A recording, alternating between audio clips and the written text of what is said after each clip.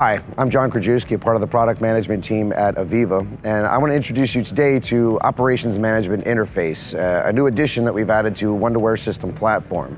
Uh, Operations Management Interface extends the capabilities of your traditional HMI and SCADA by adding a lot of external content. We've worked with a lot of our customers to identify the need to access way more than real-time data. And Operations Management Interface brings that to the core. We call that context, or context at the core of what we're doing for Operations Management Interface. It has all the traditional capabilities of, your, of a traditional SCADA system, but it extends that so that you can access things like web pages or things like uh, mapping applications or things like uh, trending or alarms or any other third-party systems that you need to integrate into your application.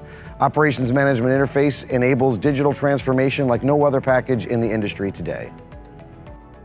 With Operations Management Interface, context is at the core of everything we do in terms of presenting information to users. So in this example, we're showing you a application where there's an alarm in the Midwest. This application was completely driven by data. It's not scripted, it's not hand assembled. And this is showing you information like this alarm so that when I select Midwest, everything contextually binds to Midwest. So I can find things out uh, associated with the Midwest like external applications. Examples of an external application would be your InTouch application. So in this pane down here, it's automatically showing an InTouch application at a remote location. And I can bring that up and show that in context of what's happening here. I can further drive down inside of this to go into more detail. So I can go in and say, well, my alarm is in Illinois. As I select Illinois, I can get all the ancillary data. I can get extra applications and any external content that are needed in making that decision for that process.